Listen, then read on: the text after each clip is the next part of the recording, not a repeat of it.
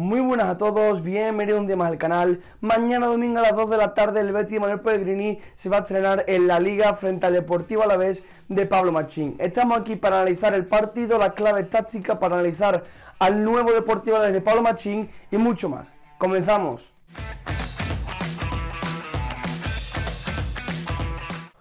Sobre el Betty de Manuel Pellegrini ya hemos hablado muchísimo en el canal, así que vamos a comenzar evidentemente por su rival, por lo que para muchos será una incógnita. ¿Cómo juega el Deportivo a la vez de Pablo Machín? Pues lógicamente en pretemporada se han podido ver matices, detalles que nos pueden llevar a intentar ver esa idea de juego que tiene Machín y que de hecho intenta llevar a todos los equipos a lo que va. El Deportivo a la vez de Pablo Machín ha sido un equipo muy diferente al Deportivo a la vez de Asier Garitano y un Deportivo a la vez de casi todos los años que vimos en primera, porque el Deportivo a la vez era un equipo muy intenso en el medio, un equipo que jugaba muchísimo en largo, un equipo de segunda jugada, que tampoco le gustaba presionar muchísimo y que tampoco proponía, que tampoco se arriesgaba, no asumía muchos riesgos y con Pablo Machín todo eso ha cambiado hacia otro rumbo porque este Deportivo a la vez es un equipo que intenta salir desde atrás, un equipo mucho más propositivo de a lo que nos tiene acostumbrados los babazorros, un equipo bastante diferente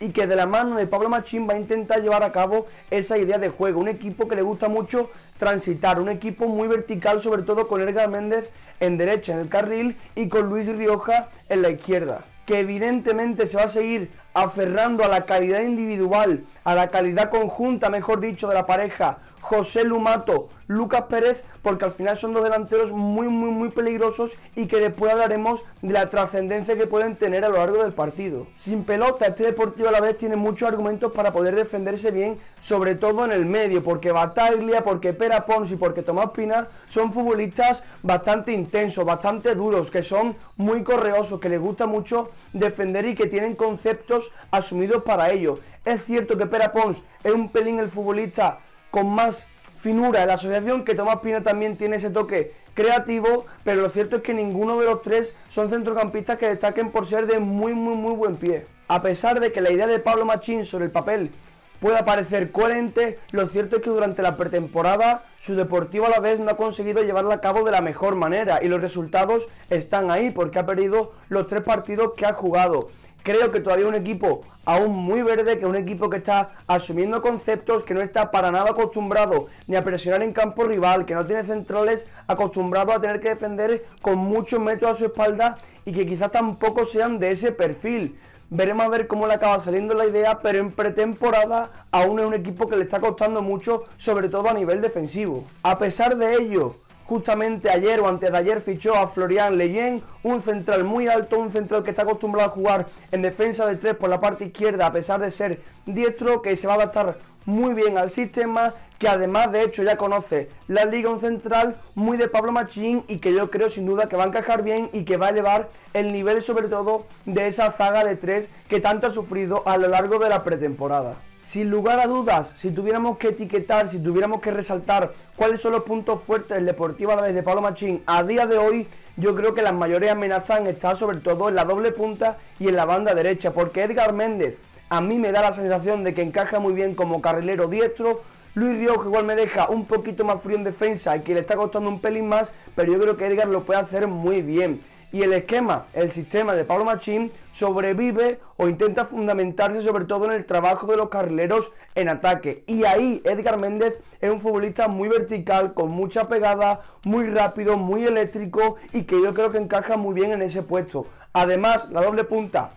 José Lu, Lucas Pérez ya nos demostró la temporada pasada que se da a valer por sí misma. Es cierto que hemos visto en pretemporada a esta pareja no muy bien a nivel físico, que aún tienen que enchufarse, pero yo creo que aún así van a ser diferenciales, que son futbolistas autosuficientes y que el año pasado le dieron muchísimo a su equipo. Antes de pasar a los nombres, antes de pasar a los dos once iniciales voy a comentar cuáles creo que son las claves tácticas, dónde puede tener el Betis mayores posibilidades, mayores argumentos para poder llevarse el partido y dónde va a tener Pellegrini los sitios donde yo creo que puede hacer más daño que en otro tipo de partido. En primer lugar, por el contexto de partido que yo creo que Pablo Machín va a ofrecer a Pellegrini y que yo diría que va a utilizar con una defensa muy alta, creo que ahí Pellegrini va a tener muchas opciones de poder situar a un extremo rápido. Imagino después lo hablaremos en el 11, que será Aitor Rival porque Juan Mino está, o incluso Cristian Tello podría utilizar esa función de extremo que corre al espacio, ¿no? Recordemos la temporada pasada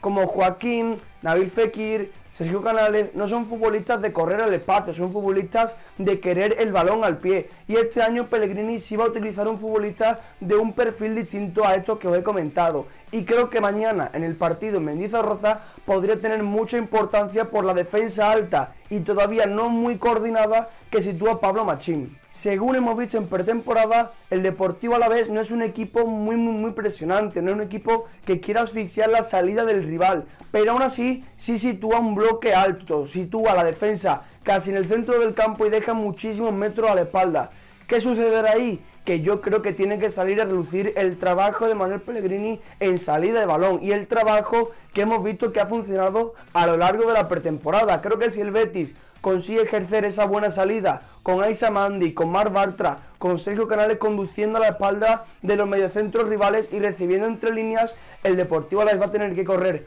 mucho hacia detrás y ahí se le puede hacer el partido muchísimo más complicado a los de Pablo Machín. Otro registro que hemos visto al Betis y Manuel Pellegrini controlar y que mañana sin duda alguna va a llevar a cabo es la presión en campo contrario, la presión al rival de forma asfixiante, con muchas ganas de recuperar, con muchas ganas de someter, de obligar al rival a jugar el largo y el Deportivo a la vez a día de hoy un equipo que intenta proponer salidas de atrás pero que de momento no tiene futbolistas con esos conceptos tan automatizados que sí que es cierto que el largo pueden ser un equipo muy peligroso si se ven presionados porque recordemos que con José Lu y con Lucas es un equipo bastante más complicado de defender en el balón largo pero que por debajo para salir por atrás ahí sí que creo que puede tener muchas dificultades porque no tiene centrales de buen pie, porque Rodrigo Eli, La Guardia, Leyen tampoco son futbolistas muy especializados. Es cierto que este último sí es un buen argumento para salir desde atrás, pero tanto Rodrigo Eli como La Guardia a mí personalmente me dejan un poquito más de dudas. Otro de los puntos del campo que yo creo que el Betis debería e incluso creo que va a atacar es el intervalo entre carrilero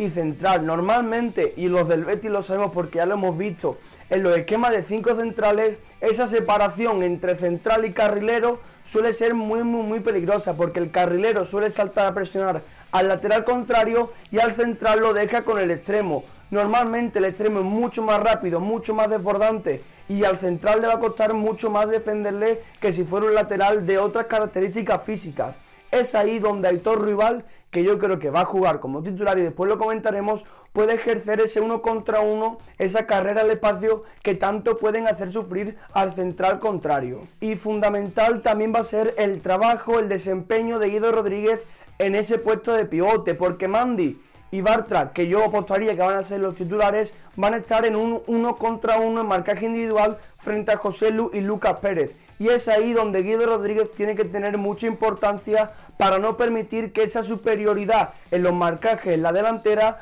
pueda llevarse a cabo de manera positiva para el rival. Creo que los saques de, de portería, Guido Rodríguez podría ocupar ese puesto entre centrales para no permitir esa superioridad porque con un balón largo al Betis le costaría muchísimo defenderlo y retroceder porque Mandy y Bartra suelen tener dificultades para ganar duelos aéreos y es ahí donde Guido Rodríguez puede marcar la diferencia para no tener tantísimos problemas como lo tendría en un uno contra uno constante durante los 90 minutos. Para terminar, los 11 iniciales que yo creo que cada equipo va a sacar y que según lo visto en pretemporada es lo que tendría más sentido. Por parte del Deportivo a la vez de Pablo Machín, lo estaré viendo en pantalla, yo creo que va a salir con Fernando Pacheco en portería, línea de 3 para Rodrigo Eli en el centro, la guardia en derecha y Leyen en izquierda porque la estación suya creo que ha sido o va a ser muy rápida y que ya si no es el domingo, la siguiente jornada será titular. En bandas, en banda izquierda Luis Rioja, en derecha, Edgar Méndez creo que ha sido la pareja durante toda la pretemporada en la que Pablo Machín ha confiado para sus carriles. En el centro, una especie de tribote con perfiles de futbolistas ciertamente bastante parecidos entre ellos. Rodrigo Bataglia, Pera Pons y Tomás Pina. Y en punta de ataque, la doble punta, creo que esto va a ser evidente, Lucas Pérez y José Lumato. Por parte del Betis, imagino que en portería saldrá Claudio Bravo, que la línea de cuatro será para Alex Moreno, Mandy, Bartra, o mejor dicho, Bartra, Mandy y Emerson Royal en el pivote. Guido Rodríguez, por delante de Guido Rodríguez acompañándole Andrés Guardado, en banda derecha Sergio Canales, En izquierda yo apostaría por Aitor Rival, porque Cristian Tello no sé a qué punto de finura va a estar para el partido, pero también es otra de las opciones que contemplo. Y en punto de ataque, Borja Iglesias junto a una Fekir que yo personalmente dudaba de su presencia, pero que ya en el día de ayer hizo un golito frente al filial en el amistoso que disputó el primer equipo. Hasta aquí la previa de la Alavés Betis, creo que tenemos muchos conceptos, muchos matices tácticos bastante importantes para el partido y que ya después del partido podremos analizar si he acertado o si me he equivocado en la propuesta de cada equipo. Como siempre os digo, dejad un like si os ha gustado, suscribíos si no lo estáis y nos vemos en la próxima.